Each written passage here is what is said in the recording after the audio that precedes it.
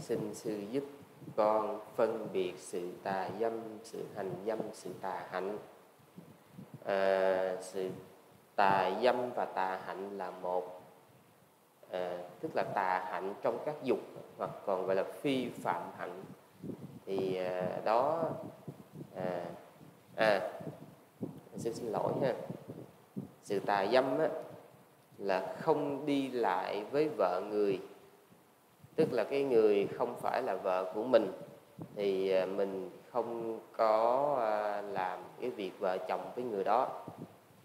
À, còn à, hành dâm đúng là hành dâm và tà hạnh là một.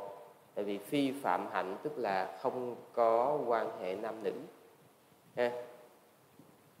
Còn à, làm cái việc là à, Ờ, còn việc làm cái việc là tà hạnh tức là quan hệ nam nữ, sự hạnh dâm cũng vậy. Nói quan hệ nam nữ ở đây là để quý vị hiểu cái tính chất, chứ còn nam với nam, nữ với nữ, các thứ nó vẫn tính vô đó ờ, thậm chí loài người, chứ không phải loài người thì nó vẫn tính trong đó. Nói để quý vị hiểu thôi.